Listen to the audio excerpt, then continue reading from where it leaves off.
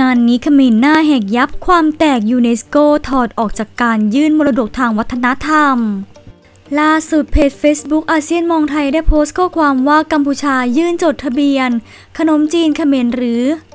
นมบันจอกกับองค์การยูเนสโกในสาขามรดกภูมิปัญญาทางวัฒนธรรม หรือ ICH ในชื่อนมบันจอก อินลุงเมียก Festival ตั้งแต่ปี 2021 ผ่านมา 3 ปีแล้ว องค์การยูเนสโกก็ยังไม่ยอมรับและขึ้นทะเบียนให้ ปีนี้กัมพูชายื่นไปอีก ซึ่งไม่รู้ว่าจะได้ขึ้นหรือเปล่า เพราะจริงๆ แล้ว หลักฐานนมบันจอก แทบจะไม่มีเลยในเขมร เมื่อค้นหาข้อมูลทางวิชาการ กลับไม่ปรากฏว่า มีมาตั้งแต่สมัยไหน เมื่อใด ภาพถ่ายในอดีต วิดีโอในอดีตก็ไม่มี แต่ยื่นจดทะเบียนในนามอาหารแห่งชาติ ซึ่งล่าสุดเพจอาเซียนมองไทย ได้อัปเดตอีกครั้งว่า แอดมินเคยเข้าหน้าเว็บไซต์ยูเนสโกสาขา ICH มรดกภูมิปัญญาทางวัฒนธรรม เมื่อต้นปี 2023 ยังมีรายชื่อขนมจีนของกัมพูชาอยู่เลย และแอดมินก็เคยเอามาเขียนลงเพจแล้วครั้งหนึ่ง ว่ากัมพูชา ยื่นขนมจีนไปให้ยูเนสโก พิจารณาในปี 2021 ในชื่อนมบันจ็อกอินลุงเมียก Festival เป็นชื่อนี้จะไม่ผิด เพราะแอดมินก๊อปปี้มาจากบัญชีรายชื่อเบื้องต้น Tentative List แอดมินก็เคยเอาเรื่องนี้ขึ้นไปพูดบน Clubhouse มาแล้ว ลูกเพจหลายคนก็ช่วยกันขุดใหญ่ แต่ถึงอย่างไรก็ตามยูเนสโกตอบปฏิเสธมาตลอด กัมพูชายื่นมา 3 ปี ยูเนสโกไม่อนุมัติให้สักปี จนถึงต้นปี 2023 รวมระยะเวลา 3 ปี ขนมจีนของกัมพูชาก็หายไป จากบัญชีรายชื่อเบื้องต้น Tentative List ถาวร แต่ไม่มีใครสนใจเรื่องนี้เพราะ ช่วงนั้นเรามีดราม่ามวยไทย vs กุนขแมร์และซีเกม 2023 จนล่าสุดที่เราได้ประเพณีสงกรานต์ไทย ลูกเพจถามกันมาเยอะ ว่าปีนี้กัมพูชายื่นอะไร แอดมินก็พยายามหาแล้ว แต่หาไม่เจอสรุปว่าปี 2023 กัมพูชาไม่มีอะไรมายื่น จนมาย้อนคิดได้ว่าอ๋อ หรือขนมจีน ที่มันรอขึ้นทะเบียนมา 3 ปี โดนถอดออกหรือเปล่า ปลายปี 2023 ถึงไม่มีมรดกกับเขา แต่สิ่งที่กัมพูชาทำแก้เขินคือยื่นผ้าเขามา 2024 ให้ยูเนสโกพิจารณาใหม่ โดยใช้คำว่า ผ้ากรามา cultural practice and expression linked to grammar a traditional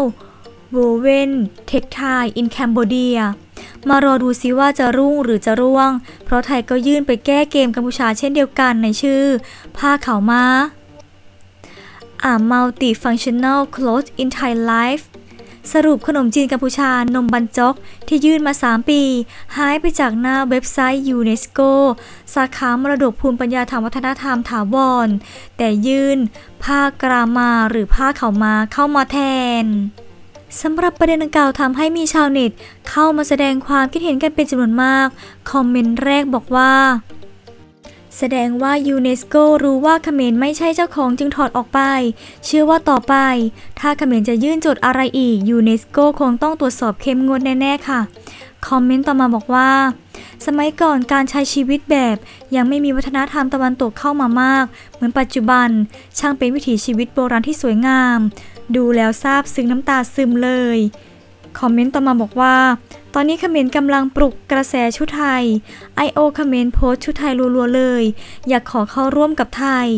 แต่ผมคิดว่าจุดจบเดียวกันกับสงกรานนั่นแหละครับ คอมเมนต์ต่อมาบอกว่า พวกนี้มันมีการยื่นประท้วงกันได้นะ ผมสงสัยว่าหน่วยงานของไทยทำไมไม่ประท้วงบ้าง ของพวกนี้ไม่ได้ยื่นหลักฐานสัปดาห์เดียว แล้วพิจารณาเลย เราน่าจะหาหลักฐานประท้วงไว้ล่วงหน้าได้ อย่างขนมจีนนี่คือของมอนชัดๆ ปัจจุบันก็กลายเป็นมรดกของไทยพมา่า เราก็น่าจะประท้วงได้นะ ตั้งแต่ปีแรกเลยอีกอย่าง ขนมจีนนี่น่าจะจดเป็นวัฒนธรรมร่วมไทยพม่าได้ หรือพม่าไม่อยากยื่น กลัววันหนึ่ง รัฐมนประกาศเอกราชแล้วกลายเป็นทำงานฟรี คอมเมนต์ต่อมาบอกว่า ถ้าไทยได้ผ้าเขามาแต่เขมรโดนปัดตก มันน่าจะดิ้นหน้าดูเลยแหละ คอมเมนต์ต่อมาบอกว่า เหมือนเห็นแวบๆอยู่นะขนมจีนที่เขมรมันขอขึ้นทะเบียน คอมเมนต์ต่อมาบอกว่า ขนาดชื่อที่จะยื่นแต่ละอย่างไม่ว่าอะไร ยังเสียงพ้องกับภาษาไทยทำไมไม่อ่านเป็น ปราปราเปรียเปรียตรำตรำตังตรังอ่านตามไม่กระดกลิ้นสักนิด ทางที่ภาษาพูดกระดกลิ้นรัวๆ คอมเมนต์ต่อมาบอกว่าเขมรกำลังจะยื่นชุดแต่งงานขึ้นยูเนสโกแต่ชุดแต่งงานของเขมรคือชุดไทยสบายไทยช่ำๆ คอมเมนต์ต่อมาบอกว่า เราคนไทยไม่ว่าภาคไหนก็ต้องช่วยกันรักษาของของเรา คนบางกลุ่มไม่เห็นคุณค่า แต่คนบางกลุ่ม เคยมองว่าไร้ค่าแค่พอมีบางประเทศจะฉวยแย่งชิงไปเท่านั้นแหละ ถึงเข้าใจความสำคัญ คอมเมนต์ต่อมาบอกว่า บางทีอาจจะไม่รู้จริงๆก็ได้นะ ว่าขนมจีนประเทศอื่นเขามีก่อนกัมพูชาจะก่อตั้งประเทศอีก ไทยยังไม่เอาไปจดเลย ตรงหน้าด้านระดับหนึ่งเลยนะ ถึงกล้าเอาไปจดได้ คอมเมนต์ต่อมาบอกว่าสรุปว่านับจากนี้ไปมีอะไรทำอะไรสร้างอะไร ประดิษฐ์อะไรคิดอะไร ต้องทำหลักฐานหนังสือวิดีโอรูปถ่าย ลงวันเดือนปีให้ครบถ้วน ป้องกันการถูกเคลมในอีกร้อยปีข้างหน้า คอมเมนต์ต่อมาบอกว่าเดียวเมนมันก็ตัดหัวคลิปไปเคลมว่านี่ต้นตำรับนะครับคอมเมนต์ต่อมาบอกว่า 70 ปียังอยู่ภายใต้ปกครองฝรั่งเศส หรืออาจเริ่มได้รับอิสรภาพเขมรยังนุ่งเตียวขาดขาดให้คนไทย สอนเย็บผ้าให้อยู่เลย คอมเมนต์ต่อมาบอกว่า ผมจะมีความสุขมากๆ เมื่อได้เห็นจอมเครม จอมทรยศจอมเนรคุณ ชิบหายไววอดไปตามคำสาปแช่งของบรรพบุรุษ คอมเมนต์ต่อมาบอกว่า หน้าด้านตีมืนเก่งอาเมรจะเอาหน้าด้านด้านพระอภัยมณีมันยังเอาไปยื่นอะคิดดู แต่โดนตีตกซะก่อน คอมเมนต์ต่อมาบอกว่า เขมรจะยื่นอะไรในอนาคต ยูเนสโกคงตรวจสอบหนักแน่นอน เพราะนิสัยขี้เครมขี้ขโมยโกหกชอบใส่ข้อมูลเท็จ ดังไปทั้งโลกแล้วท่านนครวัดต้นถอดอีก จะสาใจข้ายิ่งนัก คอมเมนต์ต่อมาบอกว่า ปีนี้มันเป็นปีอัปมงคลของพวกเขมรจริง ๆ นะในจะสีเทพสงกรานโกลเด้นบอย ประกวดนางงามแต่ละเรื่องไทยทำได้ แต่เรื่องใหญ่ๆทั้งนั้น ถ้าชุดไทยได้อีกเรื่อง มันได้กัดลิ้นตายแน่นอน คอมเมนต์ต่อมาบอกว่า ที่จริงมันเริ่มตรอมใจตั้งแต่สีเทพแล้ว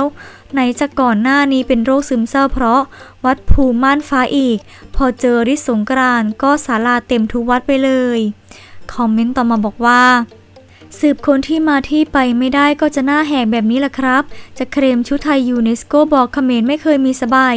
ตอนนี้ก็หาพวกในอาเซียน โดยใส่ร้ายคนไทยตามคอมเมนต์ในเพจต่างๆ ช่างหน้าด้านและไร้อย่างไอเซียนดี ท่านผู้ชมคิดเห็นอย่างไรสามารถแสดงความคิดเห็นในใต้คลิปนี้เลยนะคะ